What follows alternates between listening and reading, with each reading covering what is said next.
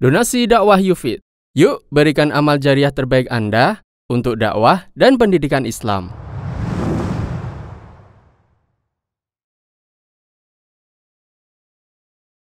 Tanda mendapatkan Lailatul Qadar.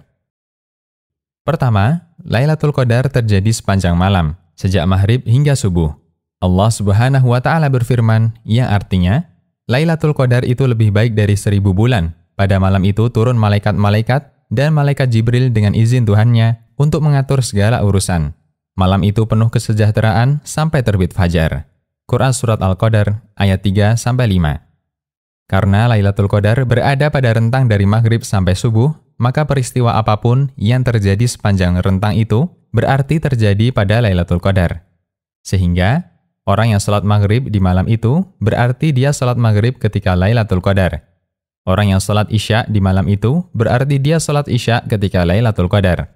Orang yang sholat tarawih di malam itu berarti dia sholat tarawih ketika Lailatul Qadar. Orang yang sedekah di malam itu berarti dia sedekah ketika Lailatul Qadar. Kedua, semua orang yang melakukan ibadah ketika itu berarti dia telah melakukan ibadah di Lailatul Qadar. Besar dan kecilnya pahala yang dia dapatkan tergantung dari kualitas dan kuantitas ibadah yang dia kerjakan di malam itu.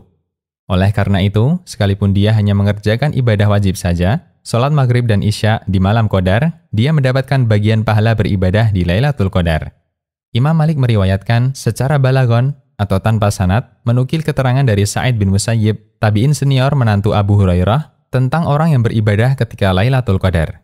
Bahwa Sa'id bin Musayyib pernah mengatakan, siapa yang ikut sholat isya berjamaah di Lailatul Qadar, berarti dia telah mengambil bagian Lailatul Qadar. Muwatta Imam Malik. Az-Zarqani menjelaskan, dia telah mengambil bagian Lailatul Qadar, maknanya dia mendapat bagian dari pahala Lailatul Qadar.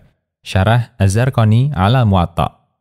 Ketiga, keterangan di atas bukan mengajak kita untuk bermalas-malasan dalam meraih kemuliaan Lailatul Qadar.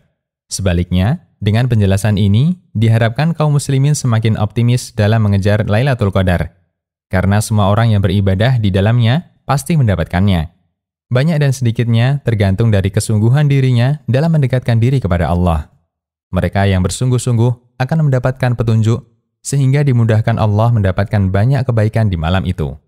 Allah Subhanahu wa taala berfirman yang artinya, orang-orang yang bersungguh-sungguh untuk mencari keridoan kami, benar-benar akan kami tunjukkan kepada mereka jalan-jalan kami, dan sesungguhnya Allah benar-benar beserta orang-orang yang berbuat baik.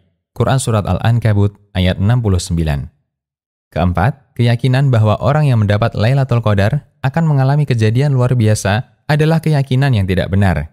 Bukan syarat untuk mendapat Lailatul Qadar harus mengalami kejadian aneh atau kejadian luar biasa. Bahkan karena keyakinan ini, banyak orang menjadi pesimis dan putus asa untuk beribadah. Karena merasa sudah sering ibadah di malam-malam ganjil, namun ternyata selama dia beribadah tidak mendapatkan kejadian aneh apa pun. Untuk itu, keyakinan ini tidak selayaknya ditanamkan dalam diri kita dan masyarakat sekitar kita. Demikian, Allahu a'lam.